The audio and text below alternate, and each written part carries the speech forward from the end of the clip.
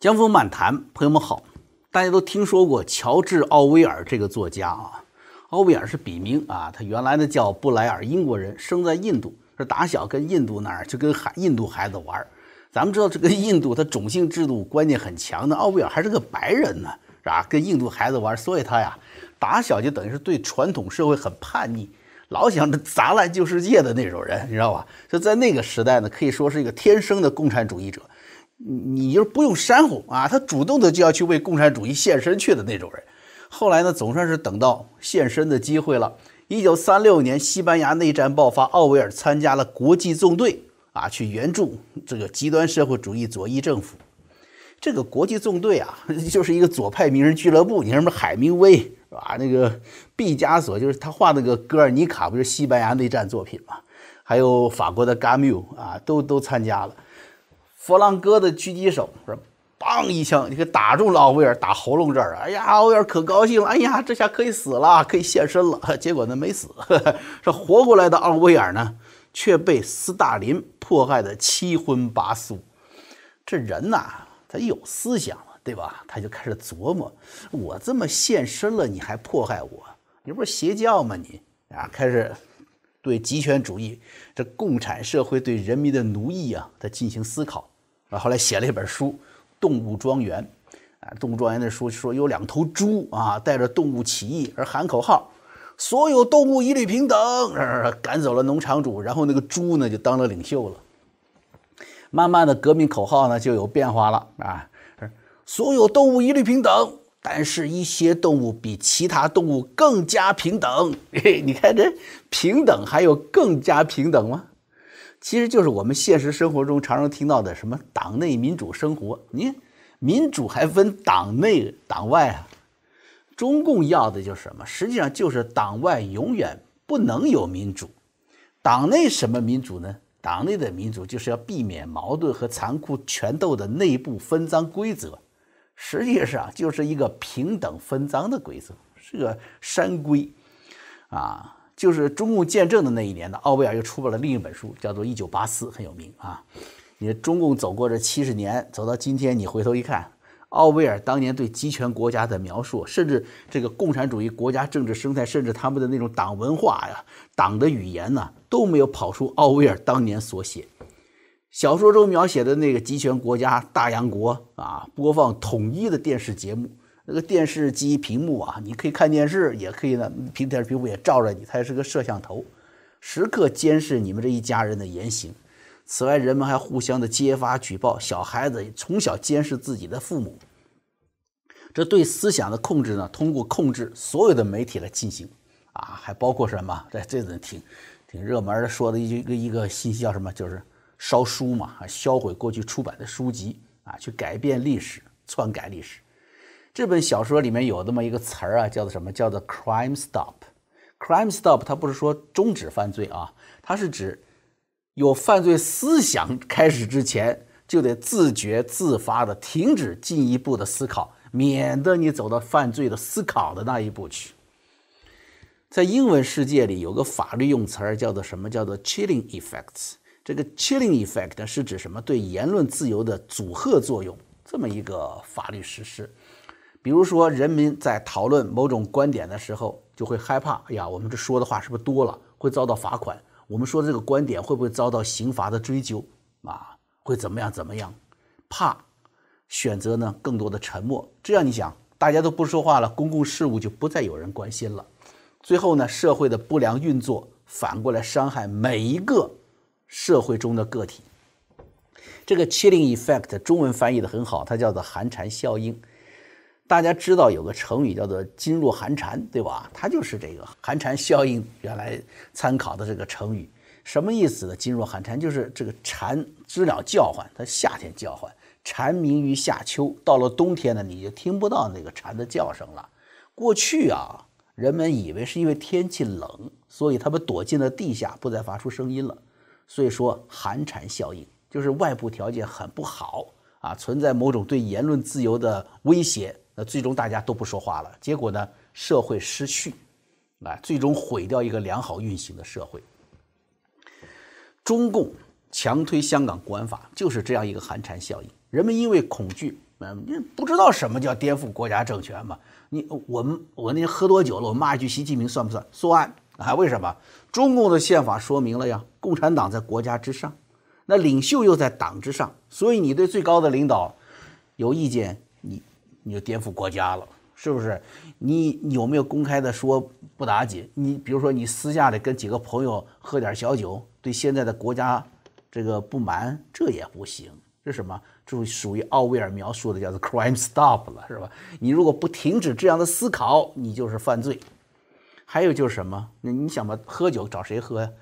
喝酒应酬的一般都是圈内人士嘛，是不是？谁知道他们会不会跟你有潜在的竞争关系呢？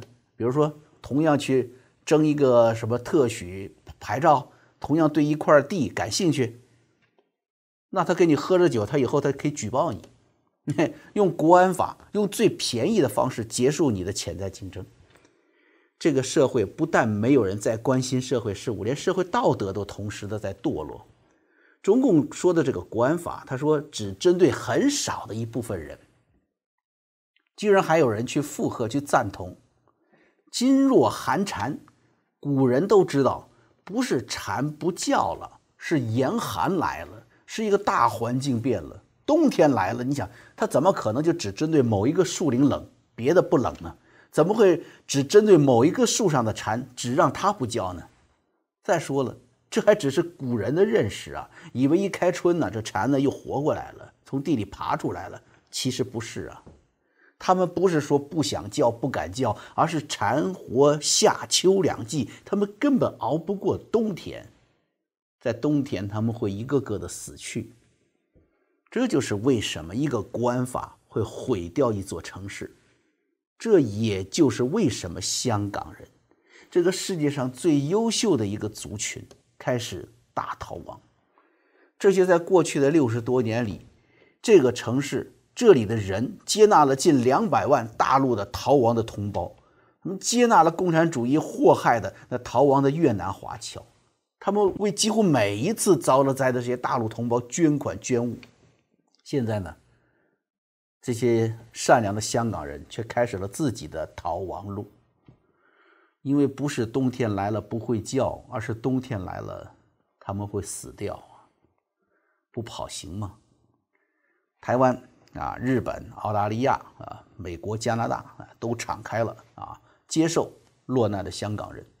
英国政府决定接纳所有香港 BNO 护照持有者以及他们的配偶。与子女定居英国，然后五天前，中共外交部新发言人汪文斌说了，说中方将考虑不承认 BNO 护照作为有效的旅行证件，并保留所谓进一步的措施实施权利。那么这个香港特区政府还说呢，我们将全力配合北京。那记者当时还问那个汪文斌呢，说，那么是不是您这说法就意味着 BN 护照持有人就不能离开香港了？汪文斌想了想说。嗯，我想我说的已经十分清楚了。你看这话，土匪穿上西装啊，这说的还是黑话。外交部说，英国方面违背了中英联合声明中的两国约定，所以中方宣布 BNO 是违法旅行证件。朋友，你不觉得奇怪吗？中英联合声明不是你们外交部说了已经成为历史了吗？不是说已经完成了历史使命了吗？怎么又哼拿出来破吹口气儿是吧？拨拉拨拉灰尘拿出来又用来拿来打击别人了呢？伦敦首相府这个唐宁街啊，他这个发言人就说了，BNO 护照是英国政府签发的，是正当的国际旅行证件。所以咱们反过来想，中共外交部这种声明对一个主权国家颁发的旅行证件予以否认其合法性。实际上就是间接的对颁发国家的合法性的否认呢？你说英国政府会就此罢休吗？所以中共的这些小的小耍的这种小聪明、这些使的小手段呢，都是不停的在国际关系上呢啊制造更大的混乱和对自己不利的局面。你想，那么你想这个中共否认 BNO 会给香港人带来什么样的影响呢？啊，我们知道这个中港两地的交通啊，使用的是港澳通行证。香港人回大陆呢，用的是回乡证，对吧？所以这项政策只会用在什么？就是你阻止你拿着 BNO 的这些护照持有人呢出境到外国去。换句话说，就是英国接受港人但是中共已经把港人给绑架了。那你说这个影响还是极少的一部分人吗？这都是国安法延展出来的直接后果呀！啊，你包括蓝丝建制派们，这下子是不是可以感受到共同感受到无产阶级铁拳的强大威力了吧？你还全力配合呢？香港特区政府还说全力配合中央，山呼万岁，好处捞够了。我告诉你，现在想走是不是你也走不掉了？今天早些时候啊，中共就决定说，香港特区暂停。香港、加拿大之间，呃，香港、澳大利亚之间，香港和英国之间的这个移交逃犯协定，同时决定呢，香港特区啊暂停啊与上述三个国家的刑事司法互助协定。中共外交部表示说，这是因为上述三国呢啊以中共的香港这个国安法为借口，单方面宣布暂停与香港签订的移交逃犯协定，是因为你们这三国。此举粗暴干涉中共内政，哎，你听听哈，这中共外交部自从这个成立了习近平外交思想研究中心之后，你看都研究出来什么成果了啊？咱们先且且不说这个这前脚习近平研究中心挂牌，后脚休斯顿领事馆就关闭啊，这么一个伟大成果，咱们就说外交部发言人传达出来的这份逻辑啊，大家听哈。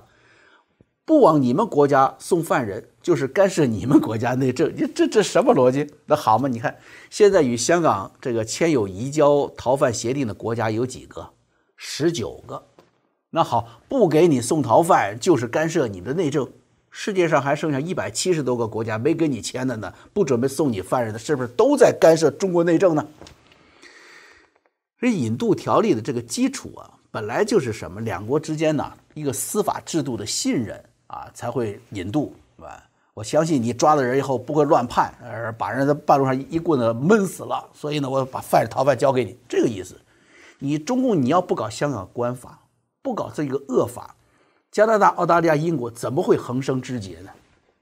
你你看你们这连香港居民都不让拿着 BNO 出境了，都公然进行绑架了，谁还会信任你有什么法治呢？啊？呃，就这个，其实中共有什么呢？他就是有那个所谓的刚才说的那个党内民主啊，只有党内分账的土匪山龟，哪有什么法律啊？现在又开始什么？对九月份举行的这个立法会选举啊，又又开始打主意了啊！不管是到时候是取消立法委员选举资格的，还是什么推迟立法会选举时间，找疫情的理由，找各种各样的理由，最终啊，我告诉你，目标只有一个：彻底摧毁香港的民主制度。他要让香港的立法会变成什么？变成人民代表大会，什么建制派，什么这个派那个派的都不能存在。你看看，人民大会堂人民代表们属于哪个派？没有啊，是不是？不准搞什么派，只准一个姓儿姓党啊！最后呢，都必须是香港版的申纪兰。哎，你说是就是把这个香港的议会代表呢改成啊人民代表申纪兰就行了啊，把山西话哎变成粤语就行了啊，这是这现在是就是喊嘎 喊嘎要把代表啊，这个反正是这个寒蝉效益之下吧，你想嘛，谁会关心真正的社会事务呢？啊。只要记得认真学习习近平思想就行了。记得拿个小笔记本啊，然后记好了，然后回到选区去，回到啊铜锣湾去。铜锣湾的群众们啊，伟大领袖又说话了，让我们坚定一国两制道路不变啊！所以这一切如此荒唐，行如此之恶，难道没有报应吗？今天早些时候。啊行政会议召集人陈志思向外媒透露说，他被一家美资银行啊关闭户口了，啊，把他的那个存款退给他了。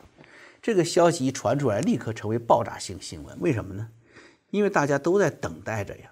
哎，光香港黄大仙那边不算，那那什么，为什么这个国安法喊好的那些高官，不知道在黄大仙那被那拖鞋打了多少下了，知道打小人，打小人，知道吧？其实人们呢更加期待是真正的能看得到的制裁的到来，啊，虽然陈志思是解释说了，他说他是今年三月份接到的关闭的这个户口的通知，啊，他说呢，相信主要是跟近四五年来啊，这国际上已经有各监管机构对高知名度政治人物审核有关，陈志思呢，似乎想告诉大家，他这个遭遇啊啊，跟最近的香港国安法出台，跟美国对于破坏香港高度自治和人权的责任人进行制裁的行动啊无关。其实呢，哎，有关。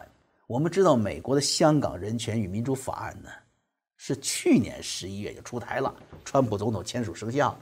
考虑到一级制裁的美资银行，也就是说涉及与美国企业、美国人打交道的有财务往来的这些财产呢，首先会遭到制裁。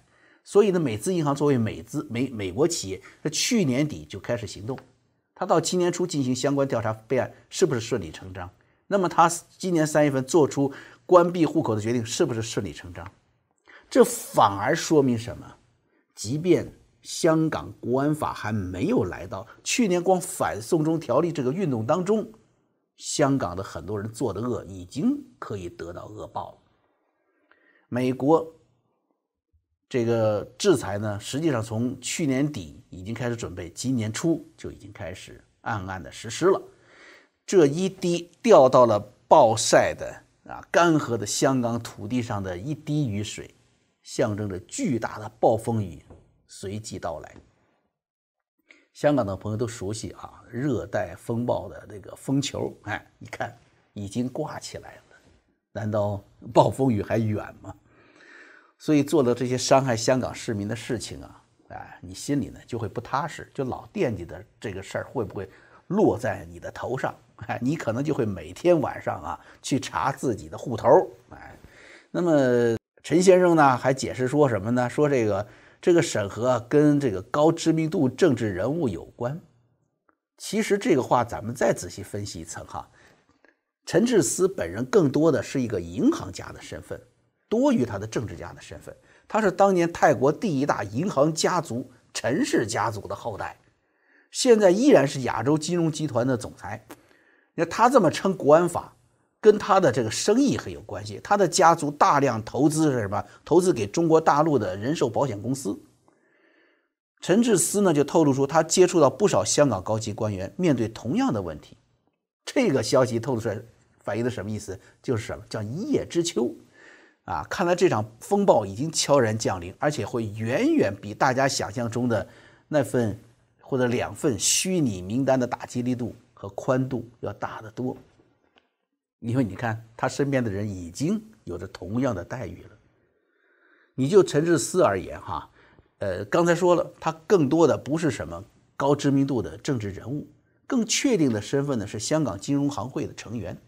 那么好，香港是国际金融城市，你说哪一个人在香港啊混到那个份上了，没有点商业利益呢？不做生意呢？啊，其实你以为他们心里不清楚吗？他们自己也是寒蝉一个呀，只不过是精致的利己主义、实用主义，让他们为了自己的私利放弃良心，昏了头了。他们总想成为那个最后遭到打击的人，最后一个被无产阶级铁拳所覆灭的人。所以你看啊，美国这些对香港官员的打击，哎，就盯着他们的资产。你不做生意吗？对不对？你盯着他们的生意。